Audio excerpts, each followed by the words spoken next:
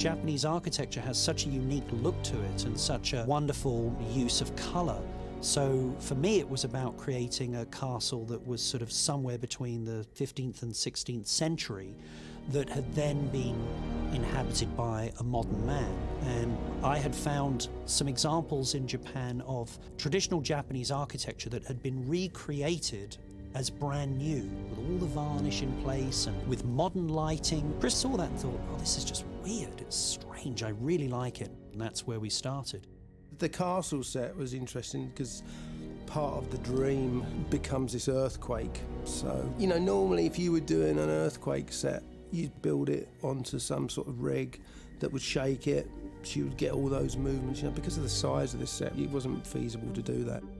Wally Pfister, my director of photography, is a tremendous creative ally in terms of how the story is going to unfold visually. We looked at a lot of different earthquake devices, camera devices for, for shaking the camera, but really when you would test them, they all looked a little mechanical, and so all of the, the, the shaking and shuddering effects for the earthquake are actually done in, in the old-fashioned way, just by shaking the camera. We combined that with a lot of uh, Chris Corbould, our special effects supervisor, his expertise in destruction we always had to keep in the back of our minds that there was an earthquake going on. So all the way throughout, we were pulling over statues, pulling over vases, bits of dressing.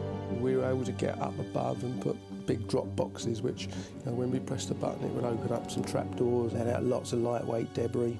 We pre-tested everything, so we knew it was safe to put Leo in there. We had him running through soft debris, you know, dropping on him, and beams were dropping beside him, and glass blowing behind him. And because Leo is very focused, you know that when you said you need to be here, he is there in that position. From A to B, he does exactly what you choreograph, which makes it very easy to put the effects around him. The flood in the Japanese castle really challenged Chris Corbould to put this on film for real in a massive way so that we could really put the performers in the middle of an extremely powerful event. Chris had had a plan to have these big metal shipping containers full of water, which is the traditional dump tank method of doing this kind of scene. But it became immediately apparent as we looked at the way the stunt would work that we wouldn't be able to have, certainly wouldn't be able to the actors anywhere near it, let alone really even a stunt performer. What Chris and his guys came up with for this film was this extremely clever method of using air cannons.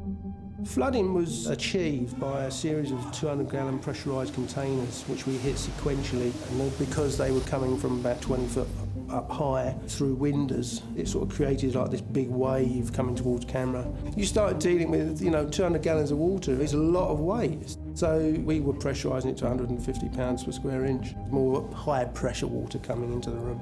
We wanted more of an atomised look rather than the traditional big dump of water, as it were.